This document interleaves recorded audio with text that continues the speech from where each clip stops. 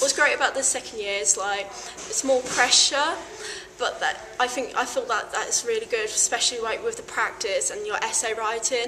Like with the essay, you have to learn more about the theories, especially being dyslexic. I found that really difficult, but with the support with the dyslexia tutors and the tutors as well, they help me analyse and understand with the whole thing, which helps a great lot within your practice. Second year, you have a lot more time to be experimental. You can work in tons of different areas that are open to you in first year, but you don't really appreciate them, like workshops and technicians are your best friends in second year. The second you talk to them, they're more helpful, I feel. And you've got all this time to experiment and play with, and in that you can do outside opportunities, such as you can be student ambassadors to Grand Union, Ikon, and there's loads of opportunities at institutions such as MAC. And yeah, second year is really about playing and exploring the art scene of Birmingham. What's great about second year is that you have the freedom to really play and experiment um, with your own practice and the fact that you can use your theory into your practice and combine it means that you get a more overview of, of everything and it really helps you to develop as an artist and really find your feet. Um, you can use the studios more as exhibition space as well as just working in them, which means that you get to see what your work would look like as a more professional level.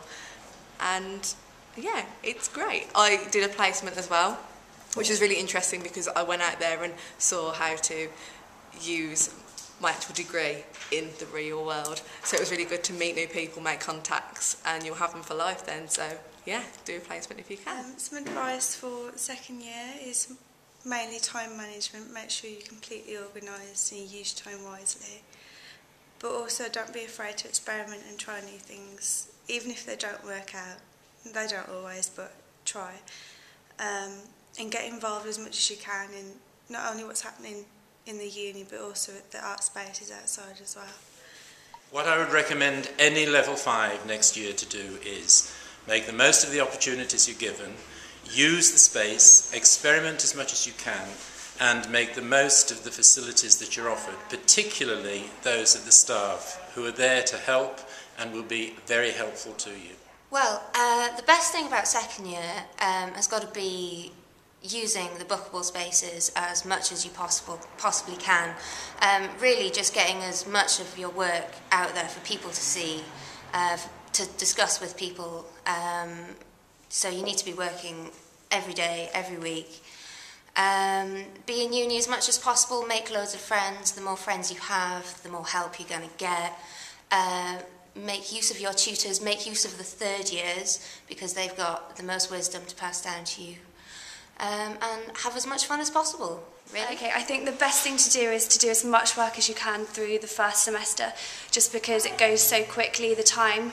Um, the year's gone really quickly and you just need to plan, experiment loads, because you've got so many deadlines after Christmas that you'll find that you haven't got that much long left afterwards, so just fit everything in and experiment lots. My advice to second year would be to come in as much as you can and get involved in the things that's happening around the university. Always check Moodle to see what's going on, it's really useful.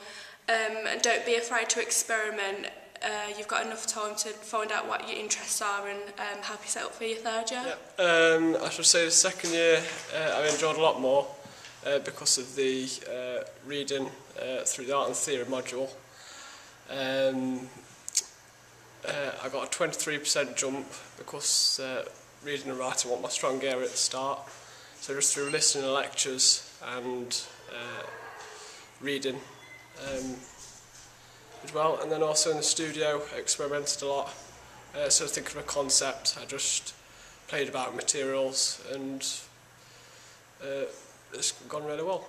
Okay, I'd say second year, the most helpful thing that um, informed my practice was doing lots of volunteering in Birmingham, because there's lots going on, in the art world, especially in Digbeth and Grand Union. You can apply to be a student ambassador, and that's really helped my own artwork. And it's a lot of fun, and you get to meet lots of interesting people. and I think Birmingham's a really good place to do it in. So it's a good opportunity. yeah. Yes.